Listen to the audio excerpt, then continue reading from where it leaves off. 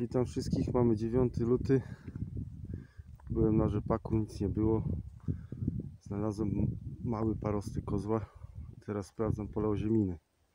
No idąc tu sobie z krajem tego pola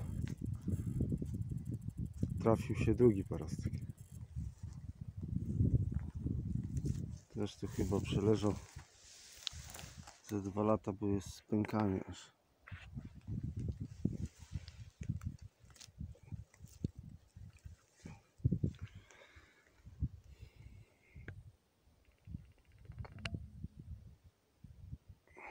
Czek. To za dwa lata przeleżał cały, jest popękany.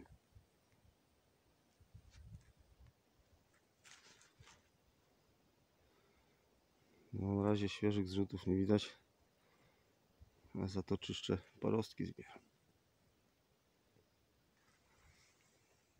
To jedna sztuka, a tu wcześniejsza.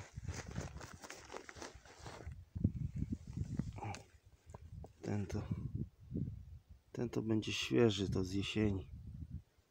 Tylko byczki przechodziły ścieżką i go wdeptały w podłoże. No. Takie znalezisko dziś.